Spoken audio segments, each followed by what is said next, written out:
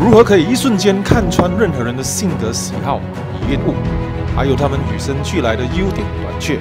如何在一分钟以内看透任何人隐藏在表面以下的真正性格特质？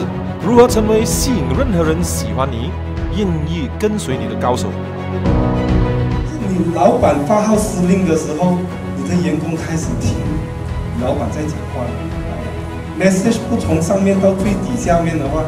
那个公司怎么样去运作？就每一个新的人，他们必须要明白自己做些什么东西，就是自己成为自己的 leader，in order to get the thing done。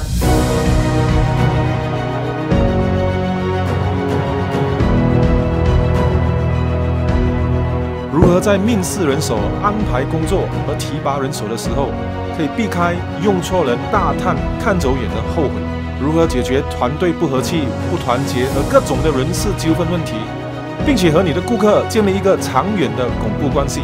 如何可以成为让别人信任你、跟你配合、跟你合作的影响力高手？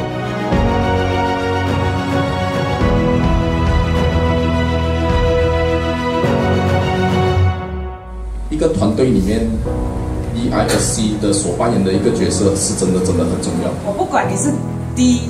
S I C，可是你在那个位置，你面对不同的人，你就要扮演不同的角色。你要带你的、你的全部人一起完成这个东西，这个才叫 mission goal。